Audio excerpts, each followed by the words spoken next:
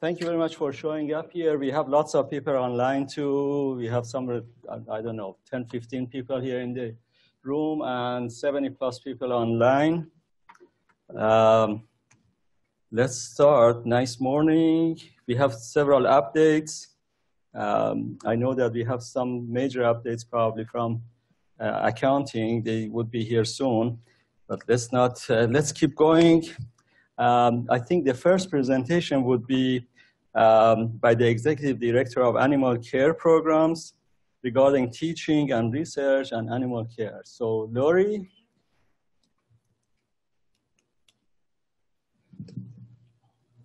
Thank you, sir. Thank you, Lori.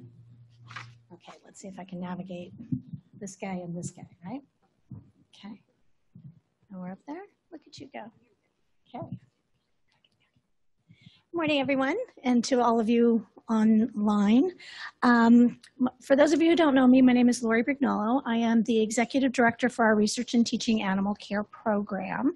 And my goal today is to sort of present just a very quick overview of what our animal care program is here at UC Davis and sort of how it relates to um, our research program overall. So just starting with um, a little bit of, of, background as the executive director of our program here. It's a brand new position here on campus. It, it hasn't existed before November of last year when, when I came on board with it. So we're, we're still kind of navigating exactly what that's going to mean for us. But globally, what I'd like to tell folks is if anything goes wrong with a researcher teaching animal here on campus, it's ultimately my fault. So I try, I take that very seriously and try to be very professional about it.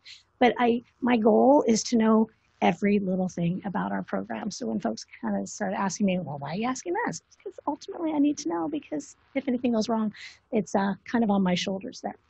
So that said, let's go ahead and, and talk a little bit about what our program means to us. So one of the first things that we did coming on board establishing this is just establishing very clear vision and mission statements. So our vision, pretty straightforward, right? We want to ensure that people and animals live healthier lives while utilizing both judicious and respectful um, mechanisms with our animal models. It's our animal care program's job to make certain that that is happening and along with that, we want to foster a culture of excellence. Big, big emphasis for us. We want to have an excellent program. We want to be a leader in the nation with what our animal care program does. So we want to support both our animals and those folks that are working with our animals and relying on them for their science. Okay, this is what our program looks like. So for, can we see the, the, the, total top part? So basically what we've got is 46 different units on campus that house animals in one way, shape, or form. The 46 different units um, are quite varied in their size. So for instance, TRACS, for those of you who are familiar with that, we've got over 100 different animal rooms. They count as one of those programs. The Primate Center, which is also huge on acres of land and has over 4,000 monkeys, they count as one. Excuse me. And then we've got some very small ones that may just have a room with a couple of tanks of fish or a room with a rack of mice or something along those lines. But they're all considered separate units within our program. It's just kind of giving you a feel for some of the scope. We are all over the Davis campus. So these big circles and shapes kind of outline different areas where animal housing facilities are. And each of those teeny little dots represents one of those potentially 46 different units. But this only encompasses the Davis campus. I'm going to talk a little bit about some of our animal care program that's beyond Davis and the Sacramento campuses as well. So it includes, like I said, all of the research and teaching animals that are housed both on and off campus. It's our 46 different units. We call them vivaria. Vivaria is basically a place that houses animals. Um, it's over 250 buildings total, 300 or so outdoor pens and pastures, over a million square feet of space. So it's big, lots of animals, lots of space, lots of people involved. So of those 46 different units, we talked about being Sacramento and the Davis campuses. So 35 of those are, are kind of in our area here proper.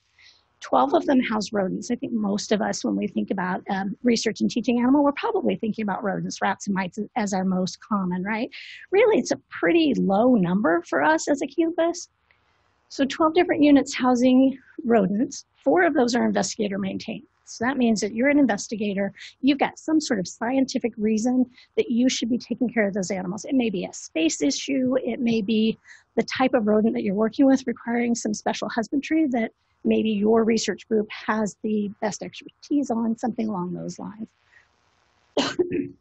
16 of them house aquatics. Mostly those are fish, some of them are frogs. But you'll see that's the highest ranking in the, the number of vivaria that are dedicated to one particular species. We have more fish, research and teaching fish on campus than we have any other species. chickens. We have a lot of chickens on campus, five different facilities that, that will house chickens for us four different ones that are housing horses that are part of our research and teaching program. Most of them for teaching, not as much for research, but they're, they're all part of it. And in three different departments, all different reasons, all different SOPs, different, different reasons for having them here. Four different places for cats, two different places for monkeys. So I'm just trying to give you a feel for the diversity, the complexity, and kind of how big and maybe a little bit messy we are as a, as a program there. Then we talked about the ones that are off campus, right? So of those 46 different units, we talked about the 35 that are within us. We've got a feedlot that's down in El Centro. It's about 10 miles north of the Mexico border, way, way down there, but it's technically part of our program.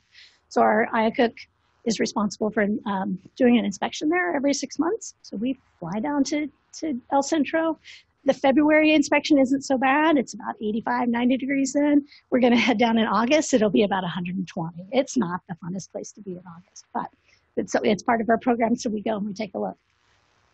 Rangelands on um, prison land. it's, it's really a perfect blend. You know, the land's there. It's got all this great security around it already, not for our cows, but we kind of take advantage of it. Is that, that part of that process?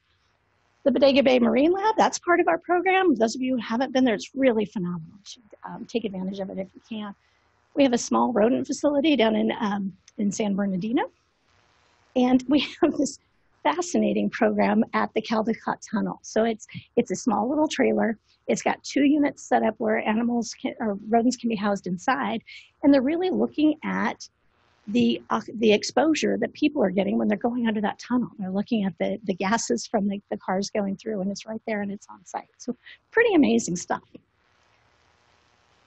Over 500 different investigators, lots and lots of different people. I know you guys interact with many of them on, on a different level than we do from an animal care program. 3,000, over 3,000 support staff. So that's the people that are taking care of the animals every day, the people that are working with the animals as research, the people that are dealing with the cages that are dirty afterwards, all of those sorts of things. It takes a lot of people. So I put up over 1,500 animal care protocols. I think we're at 1531, 1538. It's an ever-changing number. So those of us who, who are in animal care programs looking at it, we're like, oh my God, that's a lot of protocols. No, probably you're like, well, whatever, right? You have all these grants coming through way more than that. But from an animal program perspective, this is probably second only to maybe the NIH, something like that. It's it's a huge number of different protocols. So for our infrastructure, our IACUC staff, it's um it's a big deal, and we're very proud of that as well. Let's see, what else do I have here? Oh, let's talk about the scope and the numbers. So I talked about the number of fish, right? Right now, not on campus we have this many, but as far as those 1,500 protocols that we were talking about, the number of animals that they may cover for the research and teaching reason, uh, purposes, 4.5 million fish. That's a lot of fish, right? Most of them are teeny little zebrafish. They're about this big. So they don't take up a ton of space, but there's a lot of them. And each and every one needs to be accounted for in these protocols. 500,000 frogs, uh, 83,000 mice. From a, from a mouse research perspective, that's not a lot. We're not a big mouse house. So let's see, um, UC San Francisco, for, exist, for example, they have about four times as many mice as we do. It's, it's, we're not big. We have a lot of them, but from the, the grand scheme of things, excuse me, it's not that many. 4,100 non-human primates. That number is actually higher right now because we're in the middle of baby season, so we've had a lot that are that are on the ground, um, and it varies as as the year goes by. We have a primate center. That's why we're one of we we have those numbers. So most animal care facilities don't have those numbers of non-human primates at all. comparison, UC San Francisco right now, they have three monkeys. We've got 4,100, right? Cows, we have a dairy. We have lots of research cows. These numbers here, they all seem um, pretty high from a, uh, a large animal program perspective. Many of these are in clinical trials. So we may be doing feed trials at um, dairies down in Tulare. Those numbers are going to be counted here because they're covered under our animal care protocols as well. Horses, sheep, cats, cats as well, that number um, is, is pretty high because it counts clinical trials. So um, maybe you have a cat that has cancer and just like the IBC covers clinical trials in humans, we have a clinical trial program for um, pets and for large animals to go through experimental treatments to see if we can develop new treatment modalities for different, different types of things.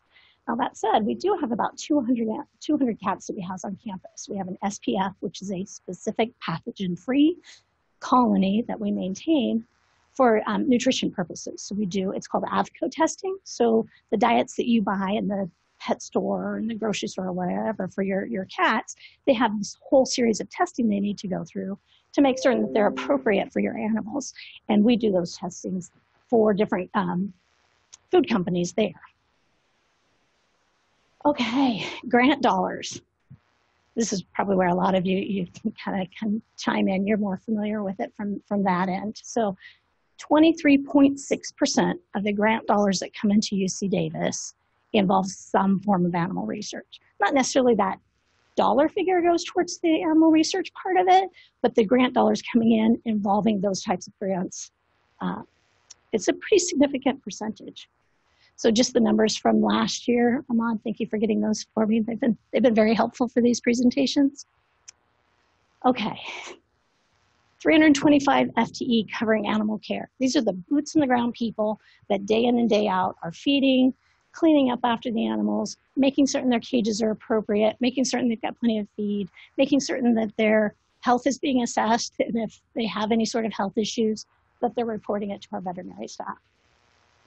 We've got 33 different veterinarians throughout campus that are dedicated to working with our research and teaching animals. Many of them are part of Campus Vet Services, so that's the unit that I maintain. Our animals, sorry about that our animals, um, or our staff rather, is are covering the vast majority of the research and teaching animals here on Davis proper.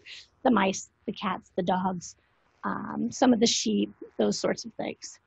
The primate center vets are counted in this as well. They have a separate veterinary staff that are just working with those animals. And then we also have um, the veterinary medical teaching hospital field services. They're responsible for all of our ag animals. So they're going to take care of the, the sheep at the sheep barn, the horse at the horse barn, the horses at CEH, those sorts of things. Nine of our vets are ACLAM diplomats. So what that means is that those vets are board certified in laboratory animal medicine. So it's kind of a big deal for us to have that number. So structure wise, sorry guys, we've got a tickle here. Structure-wise, we've got three different things that are part of an animal care program that are a necessity. So we've got an institutional official. So Prasant serves that role for us right now. He's ultimately the person that's responsible for the animal care program. He's what we call the go to jail guy. So if any of us does something really egregious or super horrible, he's really the one that's going to take the fall. So ultimately, he's got to keep his fingers in on all of this and make certain he's aware of what's going on. The attending veterinarian, that's my role. We talked about that already. And then, um, then we've got the IACUC. So we've talked about that and what they're responsible for as far as the, the oversight of the program, the oversight of the facilities. We have a large committee. We've got 26 people on that committee. It's mainly faculty driven. It's a very large committee when you're comparing programs. And then we have our director, Donna Routley, who's here in the room with us, and our assistant director, Director Whitney Petrie regs and guidelines, just so everybody knows, these are sort of the, the big picture things that we're following. The Animal Welfare Act covers mammals with the exception of mice and rats. So the vast majority of animals, oh, and fish, they don't cover them either. The vast majority of our research animals don't fall under this purview. The USDA comes to us with unannounced inspections. They're supposed to be here at least once a year and they're supposed to look at all of the USDA covered animals on campus their way of kind of making certain that we're doing what we're supposed to do are both financial and legal. So they can fine us if we're doing something that we're not supposed to be doing, or um, because it's covered under the Animal Welfare Act, which is a law and that has the animal welfare regulations, then um, there may be some legal ramifications if there are issues there. Public health service policy, they're the ones that are, are keeping track, or it's the guidance for any animals that are covered for with um, NIH funding or national funding, and they're administrated by OLAW. And then AAALAC. So I don't know how many of you have been hearing about AAALAC coming through the pikes here, but we're, we're scheduled for our triennial site visit here in the fall. So we're, we're all anxious and getting, spending lots of time on our, our program description and getting, getting ready for this. So they come to us once every three years. It's technically a voluntary program, but UCAOP says that everybody that's part of the UC system has to be accredited. So it's not really voluntary for us, but that's okay. Um, there are currently approximately a thousand accredited facilities worldwide. This is a worldwide organization. We were first accredited in 1966. AAALAC started in 1965 they keep track of that thousand or so um, organizations by the number. It's actually sequential. And we're number 29. So we were the 29th institution in the United States then to become AAALAC accredited. Those are our dates. Actively counting down. Program descriptions due in eight days. We'd be so glad we're not as submitted. and then um, I, I, I, made the mistake a few months ago of putting one of those calendar apps on my phone that tracks down when AAALAC is showing up. That was a bad decision on my part. It, it reminds me every day. I was like, guess what? Okay, AAALAC. It follows this guy. This is, this is our Bible, right? Basically, to become AAALAC accredited, we need to do what it's saying in here. This, this is my display copy. My actual copy has tabs and highlights and, and pages you know turned over and that sort of thing. So um, it gets it gets used regularly. It looks like kind of a, a teeny little book there. It's it's given um, it's outlined in must should and may statements. The must statements in there there's 49 of them not, not a ton. Um, but really if you want to be AAALAC accredited you absolutely have to do what it says you must do right? It's pretty straightforward the shoulds you have a little bit more flexibility with, and the mays even more there. So our, our goal, as we're writing our program description and looking at our program, is to make certain that we're doing all of the musts for sure, most of the shoulds, unless we have a good scientific reason not to, and the mays we're looking at from a sort of a different perspective. Just to give you a feel for what campus has done since our last AAALAC site visit, we built this amazing, amazing facility. So it's a cage wash facility and it's responsible for all of those animal cages we were talking about, those numbers of cats, dogs, fish, mice, all of those things. Those cages need to be cleaned on a regular basis according to this guy here with what frequency we, what frequency we need to do it. Um, and then this has been uh, a campus-wide investment so that we can both improve efficiencies um, and then be able to actually take down some of the cage wash facilities that we had that were really inefficient and costing campus more money. So we've taken two down. Ultimately, the goal is to take down a couple more and go from there. Sadly, this building is already out of space. it was one of those things when we put forth the original plans, it was value engineered is the term I think we were told, into something much smaller than we had anticipated or were actually hoping for. So hopefully we'll be able to do some expansions on that. And then part of the animal care program is our rodent health surveillance. So those rodents that we were talking about, even though they're not a ton in comparison to other facilities, we need to make certain that they are absolutely the best animal models possible for our investigators. And a lot of that just means that they're healthy, coming into us healthy, staying healthy when they're part of a program. And um, there's a lot of work that goes into that. It's, a, it's basically a, a full-time person keeping track of those animals, keeping track of the room order, making certain that, you know, if you've got your, we call them the super clean animals that come in and maybe they're on your cancer studies or on your um, transplantation studies, something along those lines that need to stay super clean from a rodent health perspective, not being exposed to mouse viruses basically, and then following that room order across campus. Oh, talk about just some of the changes there and what our program is. These things probably mean nothing to you, but you can imagine if these little creatures are on your mice, it's probably not the best, best thing for your research purposes. So we absolutely want to make certain that none of those are, are part of our program. this is just one of my favorite posters, and it's kind of what I turn to. You know, those days that you're having a bad day, you're kind of wondering, oh, why am I here? What am I doing? This is absolutely why we're here. So you can thank research and animal research in particular for a million different things. But just some of the basics that we talk about here are allergy medicines, um, your grandmother getting a new hip. You know, all of these things were tested on animals in one way, shape, or form before they came to us or before they came to our pets as form as treatment, um, as part of treatment modalities. I think that's all I had. Are there any questions? All right. Well, thank you very much. I know I talked over. My apologies. Thank you very much, Lily. Oh, you need this back too. Thank you. Thank you. Okay.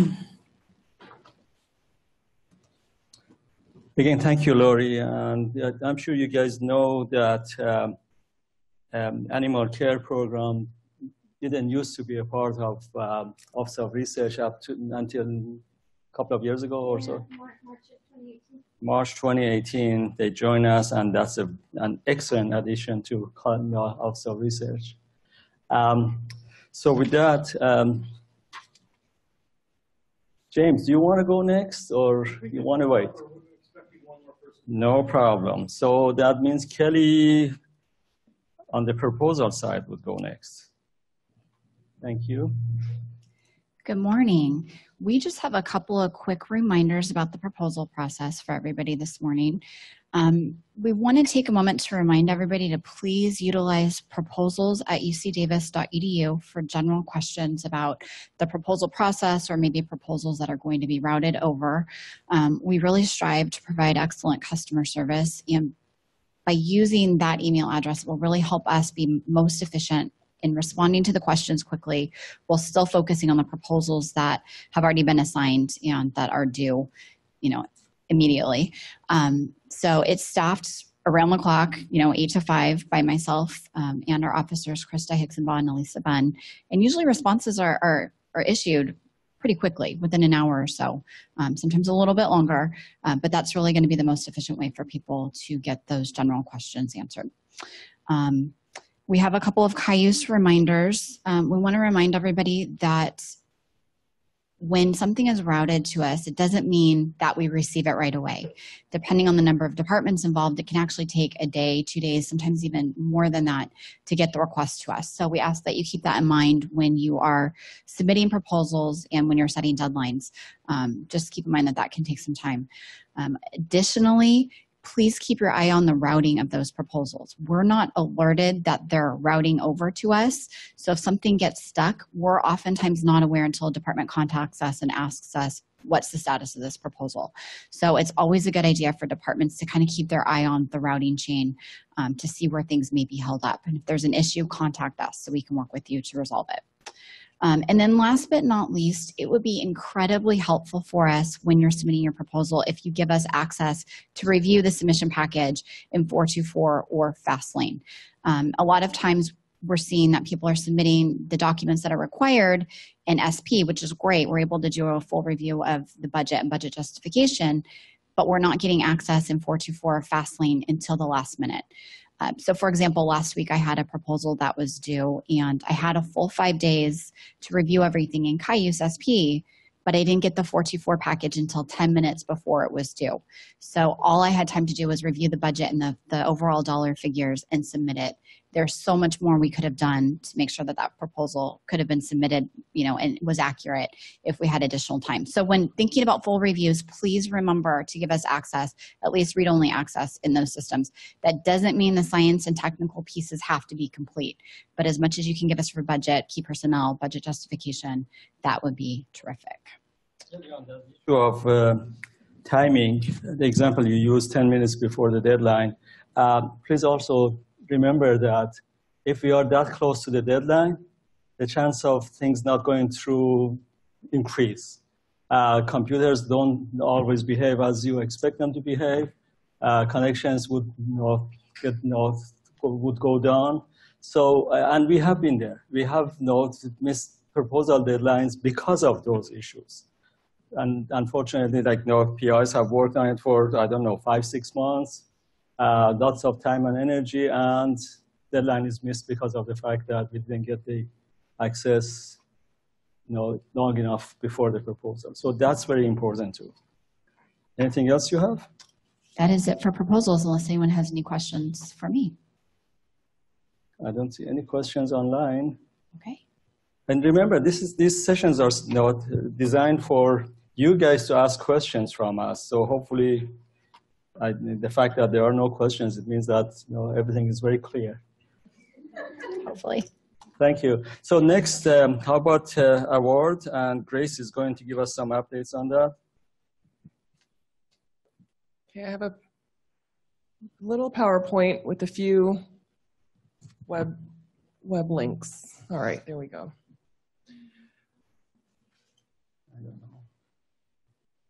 All right, good morning, everybody. My name is Grace Liu. I'm Associate Director on the award side here in Sponsored Programs.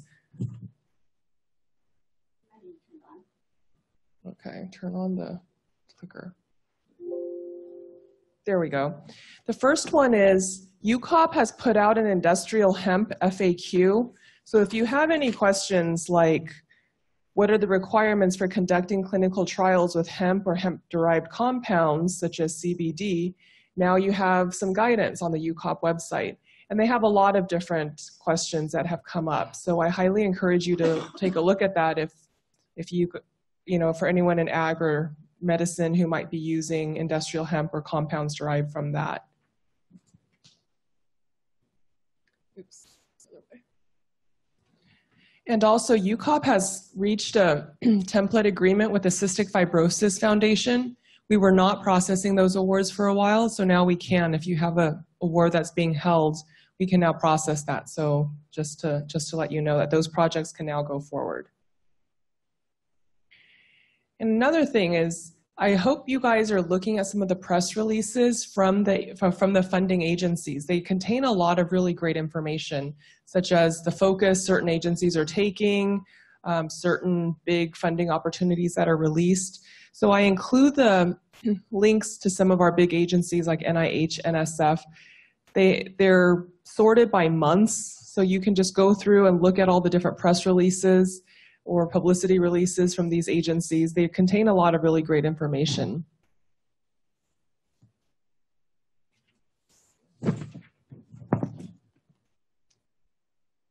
And okay, that's all I have. Is there anything else on awards? Any questions? Okay, thank you, everyone. Thank you. James, you don't have a choice anymore. Come on over. James representing extramural accounting or contracts and grants accounting. All right, well, good morning, everybody. Um, all I have to say is fiscal close is done Wow. for the most part. So our staff in contracts and grants accounting are now back on normal duties and trying to get everything processed uh, as promptly as possible. So that's um, that's my big um, announcement from contracts and grants accounting. So anybody that wants to ask me anything specific to CGA needs to do it right now. No, okay, well they missed their chance. Okay, but um, but uh, one thing that is on the horizon that is really uh, it's coming in really quick um, is the UC Path implementation, and I've invited a couple of uh, members of the UC Path team to come over and share some information that's really uh, related to contracts and grants award administration. So hopefully you'll find this information interesting and uh, we'll kind of go from there.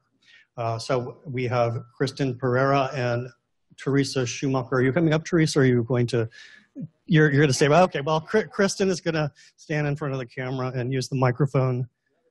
Oh, no. CNG private gifts, is it normal for them to receive, she means grants, is it, excuse me. Excuse Start me. again. Is it normal for CNG private grants to receive STIP income?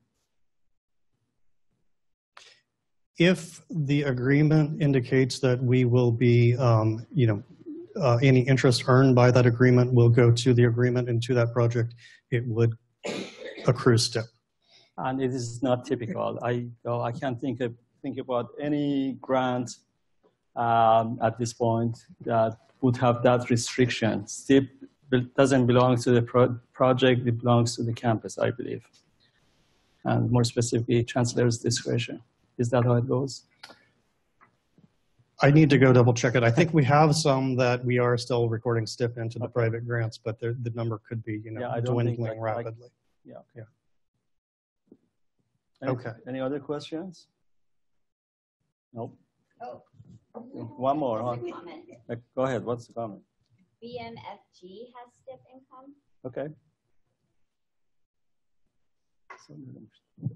Okay, let's go. Okay, without further ado, here's Kristen from the UC Path team.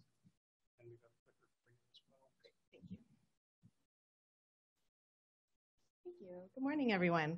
Um, thank you for the invitation. Um, like James was saying, Teresa and I work on the UC Path project, and we work on the finance side of the project. And so um, we've put together this presentation for you to start introducing some of the things um, that we think you should be paying attention to and be sort of prepared for when we get to um, when we go live. I think the cursor's not active on the. Oh.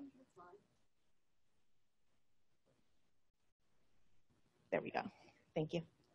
All right. So um, as you can imagine, UC Path is a humongous project, and there are many facets to this project, but really we've tailored this presentation to this audience and what we think research administrations would like to know and start introducing these concepts to you. So of course, we are going live um, at the end of September, so it's right around the corner. Um, so we want to make sure that we start introducing these concepts to you. Um, I would also put a plug in, there um, town halls being conducted, so if you go to our website, ucpath.edu, ucdavis.edu. Um, there's a plethora of information, but they're starting to have town halls, and I would encourage everyone to attend a, a town hall. I think they're all available by Zoom um, to start um, as for your role as a research administrator, but also your role as an employee. Um, this affects all of us, so um, it's good to educate yourself to to be prepared for these changes that are coming. But for today's presentation, we're going to be talking about um, assessments, talking about assessment redirects, which will be replacing benefit diversions, cost transfers, uh, salary caps and how they'll work in UC Path, um, e-verify funds, um, encumbrances, and then I'm going to give a brief overview of how our ledger entries are going to be changing. All right, so let's start with assessments. Um, the CBR rates. Um, if you're not aware already, the rate structure is changing. So um, when we go uh, with UC Path, there will be 14 rates.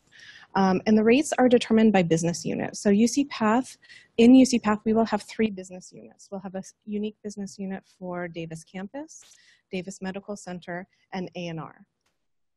So each of those entities can develop their own CBR rates. For VLA, we will have three rates. There's a rate for non-accruing, which of course would be zero, um, accruing, which is everybody else, and then there's this, this special third rate for fiscal year faculty because they are just different enough that they get their own rate. And then with GAEL, um, campus is moving to a single rate with a single object code, and that's a new object code, so you'll start seeing that on your ledgers as well.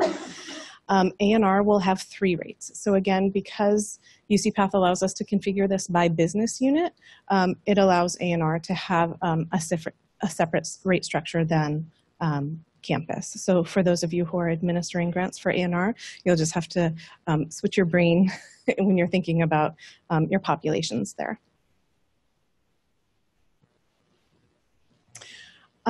One thing to note about assessments is when the assessments are applied, and it's not necessarily intuitive. So um, you can see, of course, reg time um, for HSCP, faculty XX prime and Y. All of those kinds of um, compensations are assessed CBR. But you'll notice something that is um, glaring um, is that at the bottom here we have vacation and PTO is not assessed. So when someone has vacation or PTO hours, CBR will not be assessed on that portion. Any questions there? about assessments? Okay. Assessment redirects. So UC Path um, will, the functionality is called redirect, and that will replace our current benefit diversion. So if any of you do have awards that restrict um, benefit expenses or tuition remission on that grant, and you have to find, um, move those expenses onto an alternative fund source, um, we'll be using the redirect functionality in UC Path. Um, a couple things to note about this functionality. Um, RP&I, which is the UCRP supplemental interest, um, this is something that may not be totally visible to you today, but it will be in the future. It will be a separate assessment and you'll be able to see it as a distinct assessment. It is exempt from federal and federal flow-through funds, so you won't see it on those funds. But when you do have it, um, it is not eligible for redirects. Um, GAEL uh, does have an exemption. So again, if you have a fund source that's exempt from GAEL, it will just be exempted. You don't have to redirect it. It just will not be assessed like it as it is today. Um, and the way that we maintain redirects is that we here at location at UC Davis don't have access to go into UC Path and program these redirects. We actually have to go to the UC Path Center. So unfortunately, it will take more steps. Today it's very direct. You go into KFS and you enter your benefit diversions. In the future, it's going to be a longer process because you do have to go first through our UC Davis point of contact and then um, our point of contact will uh, forward it on to the UC Path Center who will then directly enter that into UC Path. Okay, let's talk about cost transfers. This is, I know, a hot topic. Um, there are three flavors of cost transfers, and when we go live with UCPath, cost transfers are being processed in UCPath and will no longer be processed in KFS. So the salary cost transfer, and um, it has the unfortunate label in UCPath as direct retro, which can be misleading, I think, but it is the salary cost transfer functionality in UCPath. Um, and those cost transfers do accommodate those work study um, um, adjustments. So if you need to make an adjustment to the splits, the um, salary cost transfer will accommodate that. Um, it, if you have HSCP faculty, it accommodates those multiple components of pay. And if you have folks on salary caps, it accommodates that as well. So all of that is all bundled in within this UC Path salary cost transfer. Um, the second flavor, um, and on the project we call it pre-go live salary cost transfers. And what that really means is that um, no pay history is being brought into UC Path. So if you have at at the time of go live, you need to perform a salary cost transfer for pay that was initiated in PPS. We'll still have to go back to the KFS SET to do those salary cost transfers because UC Path will have no knowledge of that prior pay prior to our conversion. So um, the SET will be available for some period of time after go live, um, but it will be limited. Um, and then at some point it will be uh, turned off. So just be mindful of if the pay was initiated in UC Path, you do the salary cost transfer in UC Path. If it's um, if the pay was initiated in PPS, then you would do go to your SET to do that cost transfer. And then the third one, I think not a lot of people know about this functionality. It's benefit cost transfers. And again, KFS has this functionality today. It may be invisible to you because only contracts and grants accounting in the central payroll office have access to actually perform these transactions, but you may be familiar with it if you have had, um, for example, a benefit diversion go awry and you needed to um, have a correction, um, you probably requested um, this kind of transfer from, from contracts and grants accounting, and they went in and did the benefit cost transfer. That will be true in the future, um, and contracts and grants accounting will have access to these benefit cost transfers in UC Path. Um, a change with salary cost transfers are the federal 120 day and 90 day rules. So um, we know that there's a restriction on transferring um, onto federal funds after 120 days from the initial transaction. And in today's world, you cannot initiate that on the KFS SET. In UC Path, you can but we still have the business process whereby you have to get approval from the Contracts and Grants Office to do this type of transaction. Um, so even though the system is allowing you, we have this approval workflow in the system where you at department could initiate the cost transfer. It gets approved at the department, but if it meets this criteria, it will be routed to someone in Contracts and Grants Accounting to be approved. Um, and if you haven't gotten that pre-approval, it will be denied. So um, that approval process about going to the Contracts and Grants Office still remains the same, and that should occur prior to you going into the system and entering that salary cost transfer. Any questions about cost transfers? Yep, great.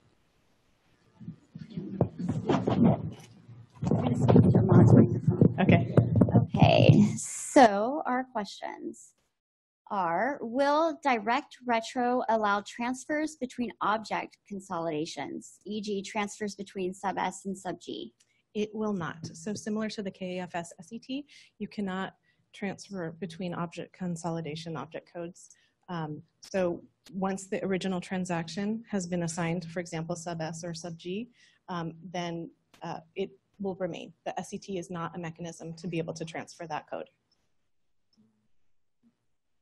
Or more questions? Okay, so um, next question is, will benefits and related charges move in proportion to the salary that is moved like it does in KFS? That's a great question, and I should have covered that. Yes, it does. So you're in, on the screen, you will be transferring the actual pay, um, and then the, the benefits and assessments behind the scenes will, will follow. And then one more question. We have a current NIH postdoc fellowship award and benefits diversion has been set up. Will this be affected by UC Path? It will, and in fact, so um, when we transition into UC Path and use the, the redirects rather than the benefit diversions, we are actually transferring every benefit diversion that is in KFS today and loading it into UC Path. In the future, it will be your responsibility to go through the process that we talked about, but um, um, we, if there's something in, the, in KFS today, we are loading it into UC Path. So when we go live with UC Path, it should be active. All right, and we have another one. Is there a way to fix object codes? not in UC Path. Unfortunately, I know today we have that the workaround where I think people are processing EDLRs, which is um, uh, our only mechanism that's available to us, but it's not really appropriate. Um, so, so in the future, UC Path does not accommodate um, moving from one object consolidation to another. All right, this is a popular topic. So we have another sure. question that just came should in. be. Usually it's James, so he got lucky today so far. Uh, for for the SCT, are the current forms with signatures no longer needed and streamlined with UC Path? Um, I'm not sure. Um, maybe James can help me with the signature. Is it for the 120 day rule? Yeah. Yeah, we're talking about the, the transfer form. We're trying to nail down I spoke too soon, James.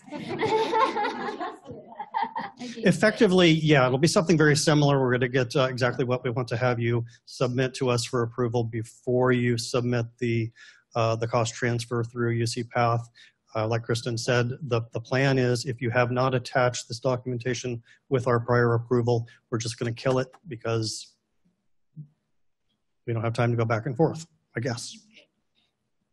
Um, May I sit down? Any more questions? Anything for James or any more on cost transfers? Okay, we'll go back to the presentation now.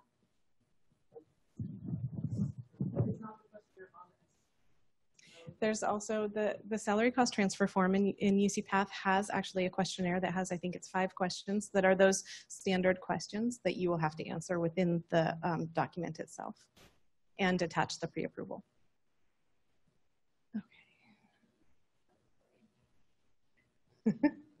Doesn't want to move. There you go. Okay, thanks. And I think, can you click in the slide again? Okay. Perfect, thank you. All right, so salary caps. Um, You are already familiar with KFS already making the enhancement to accept salary caps greater than just NIH salary caps. Um, and that was in anticipation of the UC Path functionality. So these are all of the um, sponsors who have been recognized as having um, salary caps and they are configured within UC Path so that when you're entering your funding distributions or your salary cost transfers, those salary caps are accommodated. Additionally, in UC Path, um, so UC Path is knowledgeable about these because KFS is telling UC Path this account and fund is subject to caps. And it assumes that it has the most recent um, cap rate. But if you have someone who is subject to a cap rate, a prior cap rate that is not the recent cap rate, you can actually change that. It's not free form. You can't enter any amount that you want. It's a drop down and it gives you every um, past rate for that agency um, so that you can apply a different cap rate if it's appropriate for your, your um, employee. And um, of course, effort reporting is taken into consideration and those over the cap amounts do not count towards effort. All right, E-Verify. Um, if you have um, awards that are subject to E-Verify, um, that functionality is within UCPath. Um, and if you use an account in the distribution or in the salary cost transfer, the user will get a warning. And it doesn't stop you, it doesn't make you do anything, it doesn't make you sure that E-Verify happened. You can continue with your transaction. However, it's, um, it's like a courtesy warning so that I think sometimes um, the person doing the entry doesn't may not know that this was a subject funding subject to e-verify um, and that probably an, an, additional step outside of the system needs to um, occur where you ensure that that employee has been e-verified before um, paying them from this funding source. And we will have a uh, report that's available that, where you can compare whether someone has been e-verified and if they're on e-verify funding. So to help you manage that work. Encumbrance reporting. This is another hot topic. So um, the way, you may not be aware, but the way that um, we have encumbrances today is that PPS actually calculates them for us and relieves them um, once the actual pay occurs. Um, UCPath does not offer that same functionality to us. Um, early on, um, when we did outreach to um, folks, folks said, nah, that's okay. We don't need to replicate it.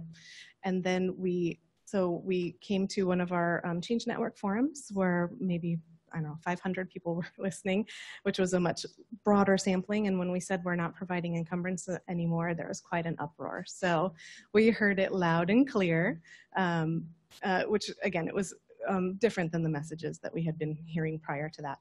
So we kind of um, didn't we ended up not having a lot of time to solve the solution. So we're we're taking a two-pronged approach. So we have a near-term solution for encumbrances which is um, a cognos report. So um, if any of you use ds uh, pps ds reports today um, those pps ds reports are being replaced by um, the cognos tool and we'll have new reports.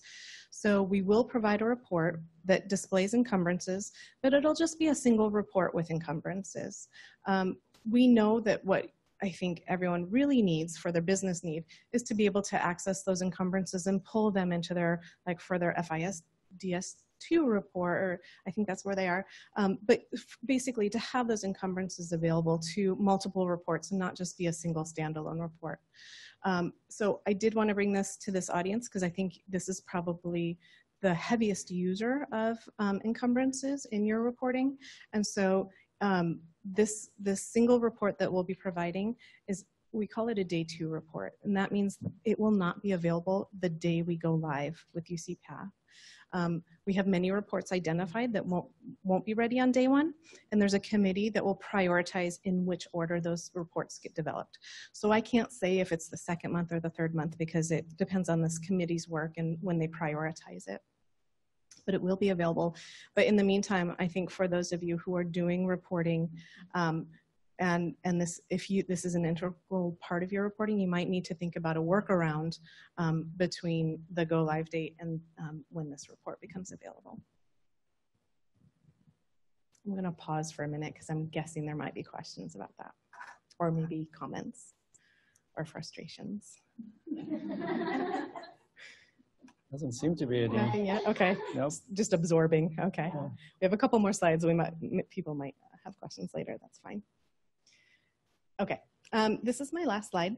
Um, and the purpose of this slide is to really go over, for, so for those of you who are looking at your ledgers, um, and that's part of your work, the way you see this information is going to change with UCPath data. And the fundamental change is that um, vacation and sick PTO, and other similar earn, code is the new name for DOS code. Those codes are going to be paying earn codes, which means when someone takes vacation, for example, the reg time is now going to be reduced by the amount of vacation that they took.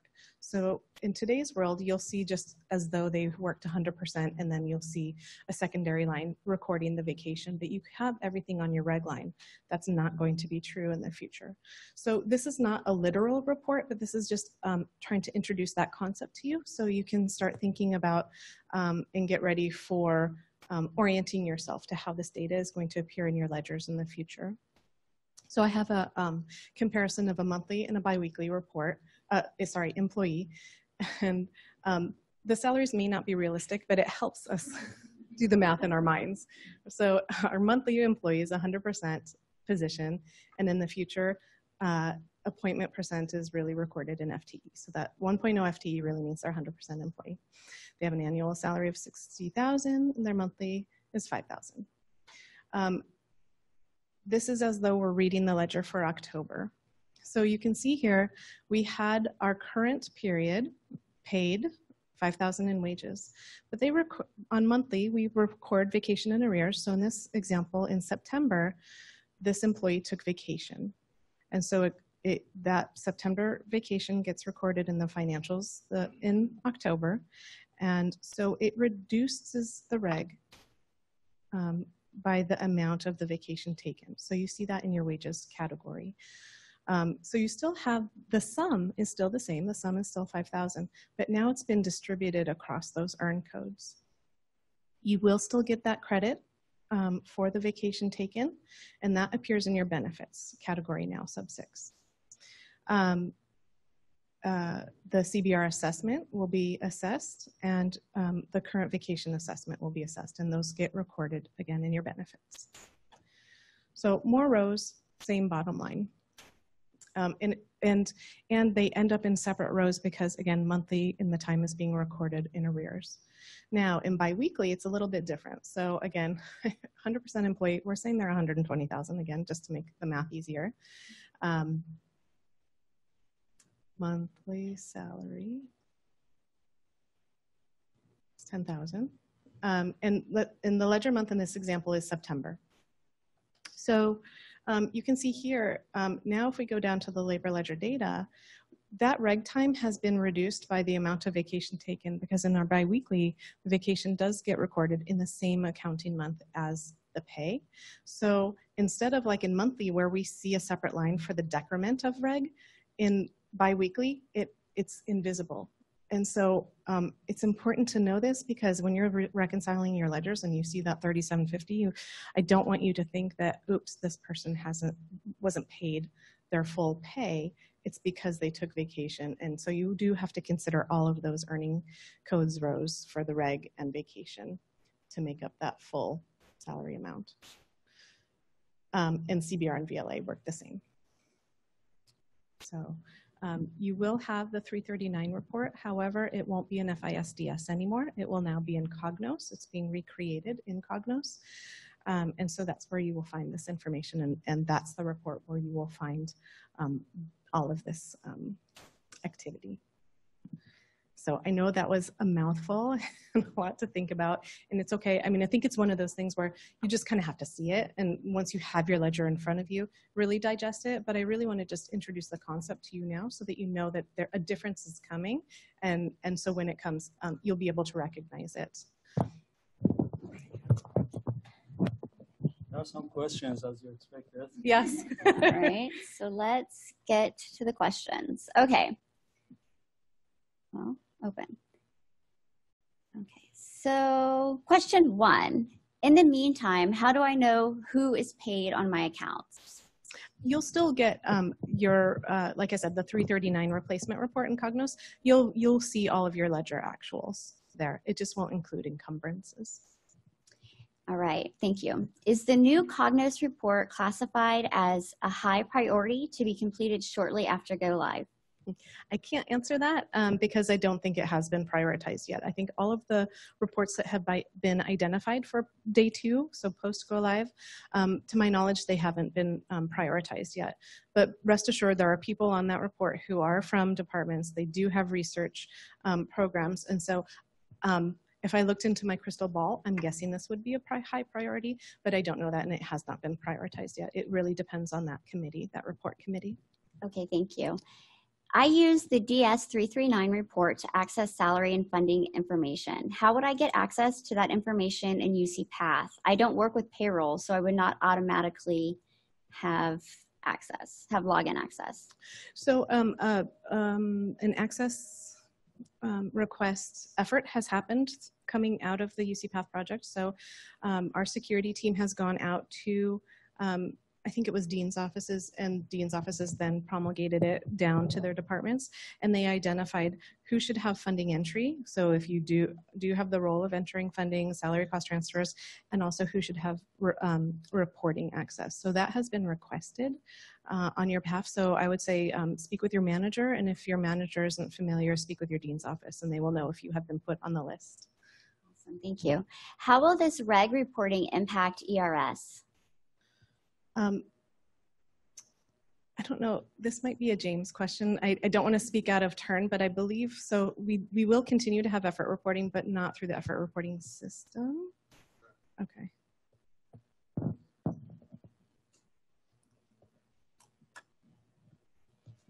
The, um, the, the game plan is that we are going to move away from ERS and into a different type of reporting. Now that Uniform Guidance no longer requires effort reporting, we're using this as a good ideal opportunity to look at a different solution to still maintain the compliance requirements, but not necessarily our quote unquote effort reports, which are, you know, um, very not as well understood as, as we would like. All right, thank you, James. The CBR will not be assessed to leave to the leave assessment anymore. Is that the case with UC Path? Um, that is not true. CBR does still, um, there is a liability pool that is associated with CBR. And so when someone, um, so when CBR is collected, um, it, it, the accounting part of it happens the same. It's just the, the rate structure that changes. The, the number of rates have changed. All right. How do I get access to Cognos? again, speak with your manager and see if you have, if because we have gone out and, and done an access request um, initiative already. So um, if you're not familiar, aware if your name is on the list, speak with your manager. Your manager can work with the dean's office and they can um, let you know if your name has been put forward for the access to Cognos reporting. And if not, um, they can add you. So I think that this next this question is related, but I'm going to read it. Sure. It's my understanding that those of us who have enjoyed PPS access will not have direct access to this information in UC Path. So we will all be relying on these reports. How can I look up distribution information for people who are paid on my accounts for forecasting purposes?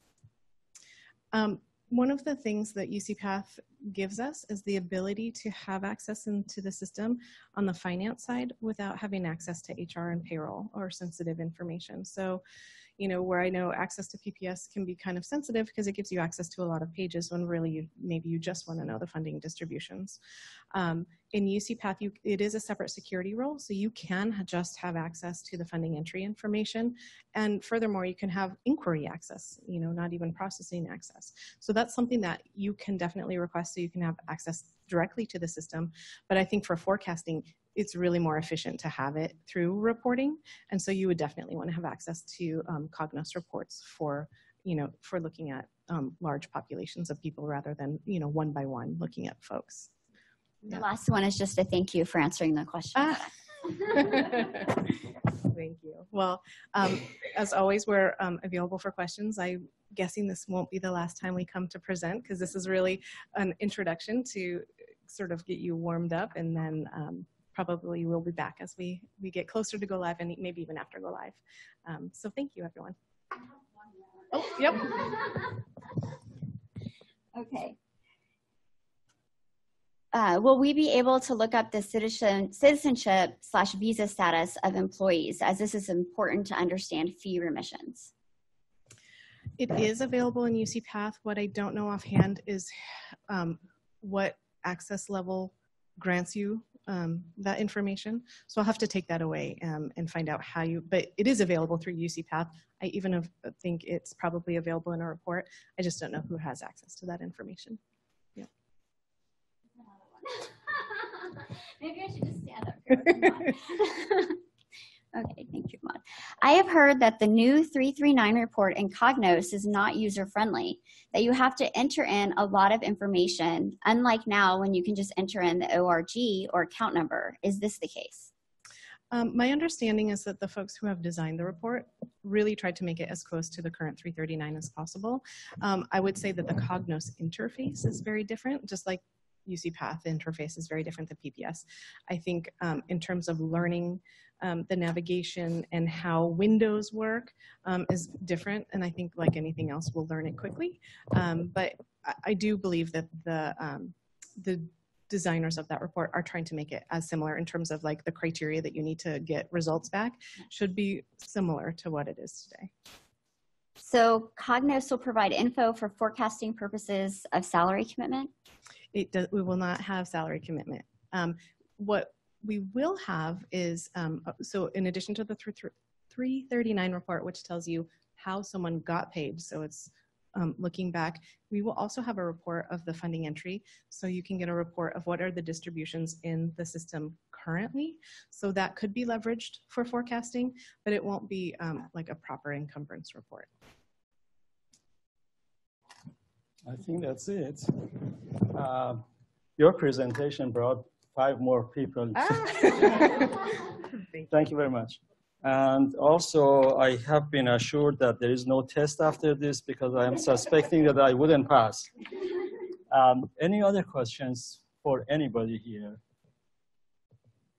I don't see anything online.